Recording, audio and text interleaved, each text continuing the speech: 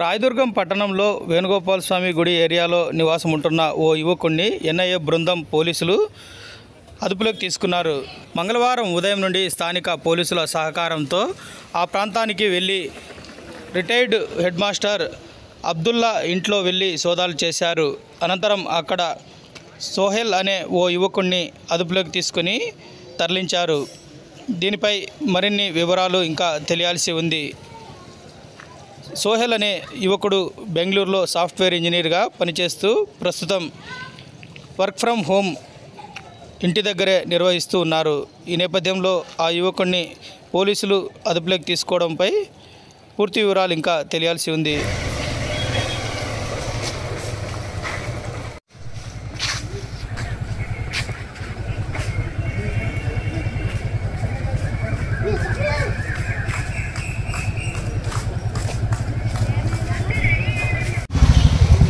ये जान छोड़ सकते देख क्या अरे नहीं कहा क्या बोला देखा फोन खींच लेता हूँ